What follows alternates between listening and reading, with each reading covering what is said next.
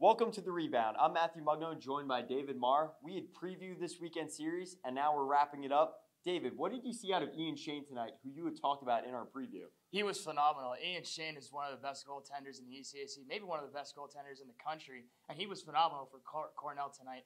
Obviously, not the result you want to lose 2 nothing. You only give up one goal, but that's the stat that stands out.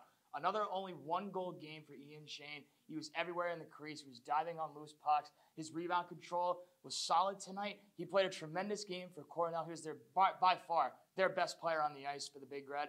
And it's unfortunate to see that kind of effort for Ian Shane just to come up that short against the Bobcats, who, by the way, looked absolutely phenomenal, especially on the defensive side. The Bobcats killed off four penalties. At one point, they killed off a five on three, and Yaniv Perets was only challenged with nine shots on goal the entire game through all three periods.